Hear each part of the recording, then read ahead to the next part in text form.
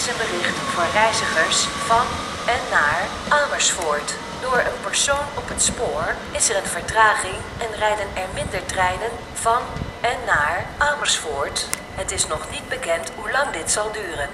Reizigers naar Zwolle, Groningen en Enschede kunnen reizen via Weesp en Almere Centrum.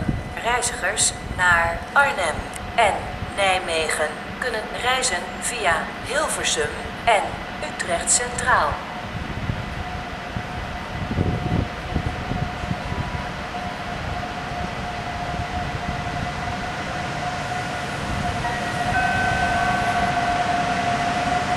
Dames en heren, dit is een bericht voor reizigers van en naar Amersfoort.